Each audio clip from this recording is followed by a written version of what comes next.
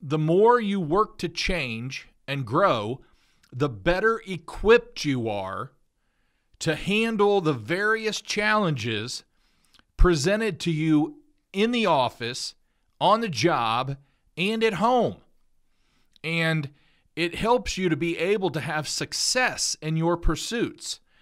If you study the most successful people, if if you read the book The Millionaire Next Door, if you read the book The Millionaire Mindset, any of those kind of books, you're going to find out that those types of people believe in constant improvement. Hey, this is Greg McAfee, and welcome to the Greg McAfee Show. Now let's get started.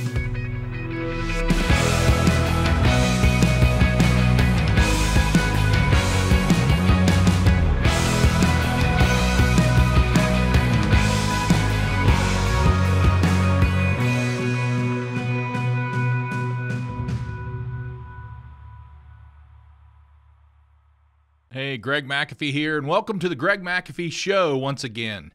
Uh, today we've got some good stuff. I want to talk about um, why and how entrepreneurs have uh, continually improved themselves and why they need to. So I'll get right to that. But right now, you guys, if you're not subscribed uh, to the YouTube or the pod channel, uh, feel free to do so each week. I put this content out uh, because I really want to see each and every one of you succeed and grow your business. So hit that subscribe button right there and turn on those notifications. And on every Tuesday, when I put out a new episode, you'll be one of the first to see it. Okay, great. Okay. Um, also, if you've not purchased my book, uh, it's on gregmcafee.com or it's on amazon.com. But if you own a small business, even though it's not HVAC business, this book's for you. Um, it's basically how I went from $274 uh, to multi millions in sales um, and very healthy profits as well. Anyone can do a lot of sales, but managing properly helps uh, earn those profits and make those profits, rather. Okay, so want to get started today on. Um, I thought about. Uh, I'll go over something. I'll go over this book here in a minute uh, by Andy Stanley. It's a study guide. I'll tell you a little bit about it in a minute. Um, but I want to talk about um, we must put um, an effort toward improving. Improving is motivating. Improving is doing something to make yourself better. And I look at it as a business owner, an entrepreneur of constant improvement. My my whole vision, my whole dream, my standard of doing business has to do with constantly improving, constant improvement. And there's actually nothing myst- mystical about this. It's um it's what we do. It's because the more you work to change and grow, the better equipped you are to handle the various challenges presented to you in the office, on the job, and at home. And it helps you to be able to have success in your pursuits. If you study the most successful people, if if you read the book the Millionaire Next Door. If you read the book The Millionaire Mindset, any of those kind of books, you're going to find out that those types of people believe in constant improvement. You don't just get to a level and stop. I've I've never seen anyone who is extremely successful stop improving. It just doesn't work that way, folks. And as an entrepreneur, especially, self improvement can benefit us even more than others because we're constantly learning new skills and innovating our businesses. And that should be part of our job description. So if you're not innovative and you're not making things happen, which I do have a chapter on that in the book, in my book, Um, it you should have a strong thirst for knowledge. You should have a strong thirst for improvement, and you should have a strong uh, thirst for getting to that next level, whatever that next level might be. In in in some people's uh, world, it could be going from three hundred thousand to a million. In other people's world, it could be just getting systems in place and sleeping better at night. In other people's worlds, it could just be um, lessening the debt load. So, whatever that next level is for you, if you're not constantly improving and you're not constantly reading and you're not constantly uh, watching um, videos on YouTube on the how to, how to do this or how to do that, um, I, I have friends who are in the hundreds of millions of dollars per year in business, and they they are constantly reading. They are constantly studying different things on how to improve. And that's what it takes to get there. And, you know, I hate to say this, but I'm going to say that. I'm going to say this. If you aren't, you're never going to get past where you are today. You've got to want it. You've got to want it bad. And most entrepreneurs want it. They want to know how to get to that next level. They want to know how to achieve that next goal. And they're happy to put in the time and to put in the investment to do that. Okay, so number one is putting your best effort toward improving. Number two, you have to change with your industry. And for for those guys out there that are, you know, in the trades, in the small business, whether you're in the lawn care, landscaping, roofing, home improvement, you know, plumbing, electrical, heating and air. I knock that darn thing over every time. Um, I'm going to redo this office, by the way. Uh, it's going to be really cool. I've got a new bar height table coming in with bar stools on both sides. We're going to have more cameras and more views, and some of this foam's coming down behind me. And uh, I've got some bookshelves going up with some cool American, um, patriotic.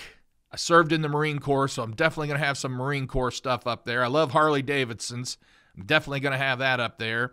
And I love guns. So I might even have some cool guns in here, okay? Um, and I love cars, but I don't know how that would work. Uh, but anyway, let's go back. I got off. I got off uh, subject matter there for a minute.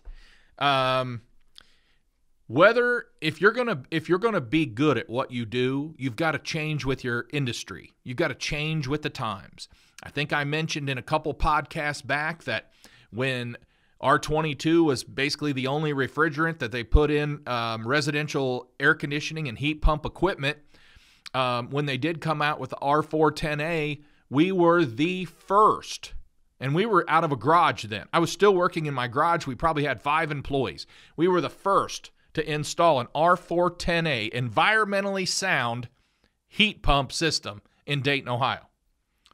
And um, I told you guys when I when I was in, I was my only salesman. So when I went out on a call, I would ask the customer, "Do you want the old stuff or or the new stuff?" And the majority would say the new. Some would say, "What's the price difference?" But when I said this old is going to go away and it's going to become very expensive, do you want the new stuff? The majority went with the new.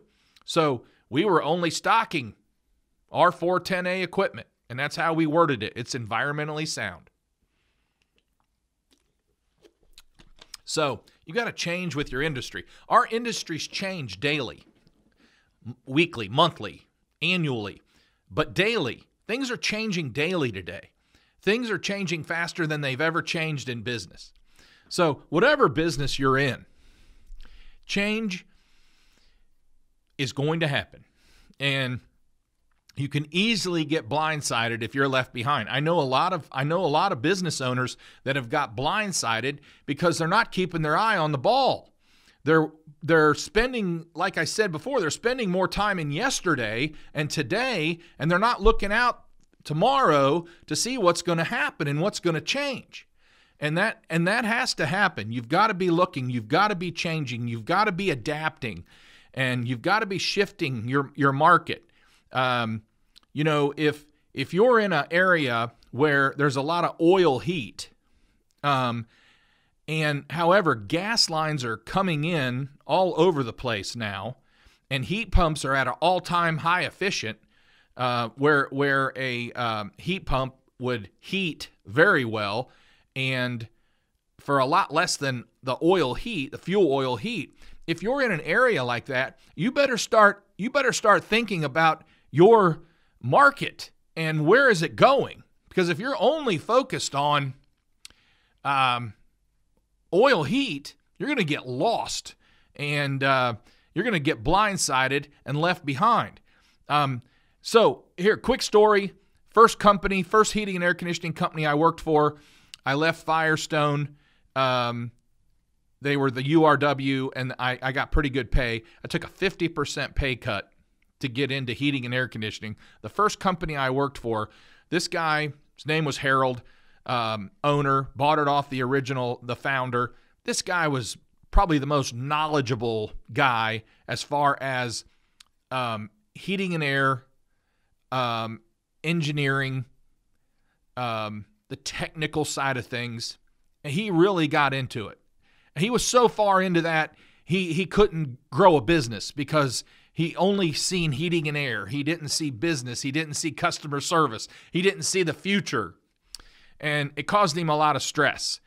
Um, but anyway, there used to be an oil furnace. Maybe somebody out there would have heard of this. I don't know. But it used to be called a Timken. And a Timken had a really unique structure of how the burner lit and how all this stuff happened. So here I am in heating and air conditioning. I'm thinking about the future right? I mean, I didn't know anything. I knew enough to be dangerous, actually. I'm thinking about the future. I'm thinking about where am I, where's Greg McAfee going in this heating and air world? Um, and he's teaching me how a Timken worked. I think they had a total of three Timkens. Um, now, this was back in like 1987, and I think he had three Timken customers and he was the only one in the area that could keep these furnaces going. So he's teaching me how they work. Do you think I needed to know how they worked? I could have cared less. I listened and I understood the concept, but I would have been much more interested in let's talk about the future. Where's the you know, where's the future going in heating and air? So think about that with your guys, your team, your staff, your business, and your world. Are you stuck in yesterday or are you thinking about tomorrow? Because yesterday is only going to get you what you got. So these things, these changes happen all the time. And we have to lean toward the future. And there's going to be a lot of tech, technical advancements in heating and air. Uh, but there's also a lot of advancements in, in business. Uh, things are happening. You've got to stay up on it you know this all this PPP stuff. You've got to you've got to know what's out there. You got to know what's going on. You've got to have uh, a good banker. You've got to have a good CPA. You got to make those things happen. And uh, so it's it becomes fun. It becomes it's a it's a it's like a natural high for me to just continue to dominate my market, to continue to come up with ideas, to continue to come up um, to surround myself rather with people and creative people and people who who um, grow their own businesses to the next level. That, that excites me, and I that's what I think about, and that's what I do. Um, I, we have to train our people to do what they do best, and I need to be doing what I do best for my company. And uh, so think about this. You have to improve yourself to improve your business. And and that's a fact. If you're not improving yourself your business is not going to change. It starts with you. It starts with you at the top. You've got to change. You've got to uh, adapt to what things are coming down the pike. And there's a direct connection between the success of your business and your personal state of mind. Trust me if you're if you're not learning and you're stagnant, I guarantee you your business is stagnant too. And it is everything you do, including how you run your business, is an extension of who you are and what you know. And I'll tell you, I don't it would be embarrassing if if my business wasn't growing. I mean, I we've had down years. I'm not I'm not saying that, but it's embarrassing if your business never grows. I've coached I've coached business owners where they have said they have said these words. Well, 5 years ago, we were doing a million, but we've been stuck at 600,000 for the past 3 years. I'm like, are you kidding me? I don't know if I can help you. I mean, I'm, I want to be serious here. I don't know if I can help you because you haven't done anything to help yourself. You haven't done anything to improve your business. You haven't done anything to improve yourself. Your business will benefit and it will be a game changer when you step up your game and you want to improve yourself. Your, your business will appreciate it, your team will appreciate it, and it will translate into success. I mean, I, I want to be successful in what I do. And I'm not talking about making the most money. Money is a byproduct of doing things well in my world. I'm not chasing money. But I will tell you this when you do things well and you take care of the customer and you're ahead of the game and you're constantly improving, money will chase you. You don't have to chase it. Ask any successful person who's focused on doing what they do best. Money chases them. And we've got to gain an edge over the competition. You know, there's a lot of competitors out there. I've had people in our boot camps. Um, we have about 500 companies in um, the Dayton area. We have f- about 500 heating and air companies, give or take. Um, and I said before, about 20 to 30 percent of those actually have brick and mortar, whether they lease or buy and and the rest are are are still working out of their home or truck. And uh, that's fine and dandy you know if, if, you're focused and that's what all you want to do that's fine and dandy. I never put anybody down for that.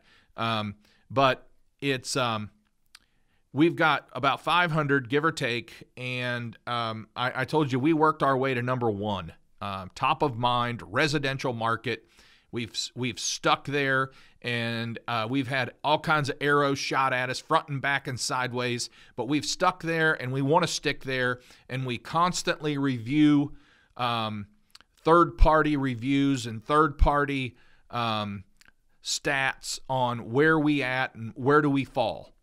And i think i've showed you some of those back probably um, somewhere around number four or five of, of my podcast and uh, so you um you have to improve yourself to improve your business and you have to gain an edge over the competition. You have to do things that they're not willing to do. And I don't care what size you are. Uh, I just told someone the other day they they were doing about a half a million in sales, and and they they only had uh, it was them and a helper and sometimes a son uh, when school was out. And I said, you guys got to do what others aren't willing to do. He said, what do you mean? I said, well, the, the bigger companies, they're not going to advertise, you know, no job too small. They're not going to advertise on a grocery store bulletin board. They're not going to go door to door and leave a flyer. And they're not going to make phone calls as much as you can. You have more time on your hands right now than you ever will. So, when you discover, when you discover and start to use self-improvement to your advantage, it's like you've uncovered a secret. It's a secret to success. It is not every business owner focuses on consistently improving themselves. And when you tap into that secret, um, you will see things change for you and your business. And many business owners ignore that aspect altogether. And that's that's ridiculous and that's why they're not achieving what they want to achieve. So this morning I was in at 6 a.m. Um, and I popped in. Um, I'm old school. I popped in a DVD. I'm doing a series. Andy Stanley, Better Decisions, Fewer Regrets. It's a this is a study guide. It's not a book. It's a study guide, and I fill it out. And I and I I want to improve, and I want less regrets in my life. And if I can improve my life, I will improve my business. And so I work hard toward that. And I'm, I'm almost always watching some sort of uh, study guide. I've got two in my cabinet that I haven't even took the wrapper off yet. So I've got the two next ones coming up. And it's all about self-improvement. It's all about making me a better person. And yes, I still read a lot and I, I do my uh, Bible devotions and my Bible reading. I'm a firm believer in that. Um, even over this, and most of what I most of what Andy Stanley is actually a pastor and a speaker. So most of what I I listen to is, is going to be more on a uh, biblically based uh, concept. So you've got to gain the edge over your competitor, and you've got to set the tone for excellence in your company and that's that's one of the things on my my McAfee way is um, striving for perfection. We strive for perfection. We know we're not going to be perfect. We don't walk on water, um, but we're going to hit excellence along the way. So, as the owner, as the leader of your business, by the way, you are the leader of your business, right? then act like it, okay? Because you're the leader. You, some of you started this thing. Some of you purchased it, and now you're running it. You're the leader. Um, and it's clear to others when you're constantly improving yourself. They will see this and they will appreciate it. And they, um, it will improve you both personally and professionally and and then you're able to set the example for your entire team. I push my leadership team to read, read more. I push my team to read. I gave them all a free copy of my book because I wanted them to learn more about my history of McAfee and a little bit more about me than what they knew. And I'd say a large portion of them read the book.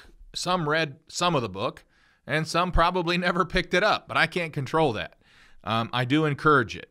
There is a point where a lot of business owners um, uh, fall short, and that's self improvement. They fall short in self improvement. Some of them are like Harold, and they're so worried about learning more about how a furnace and air conditioner works than how to grow a business. So I want to leave you with this.